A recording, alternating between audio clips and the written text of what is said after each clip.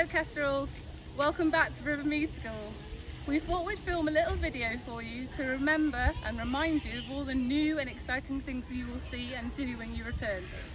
On arriving back to school, you will come and stand with your grown-ups or parents on the marked lines along the back of the wall. Each person will move up at the time of 8.40 to come and arrive in via Kingfisher Court entrance.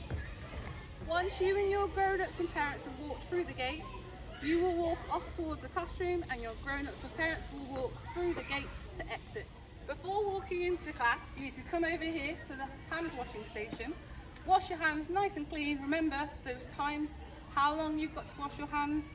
And then once you're all nice and clean, you can head on inside. Once you have washed your hands, you come in straight into the class, go over to the pegs, you'll have your name label on there, hang your coat up, and then head to your table.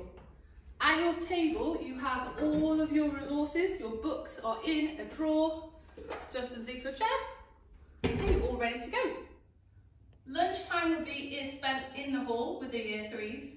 Once you're finished, you'll be able to go out into the main playground to play with all your friends, and then come back in after lunchtime's finished.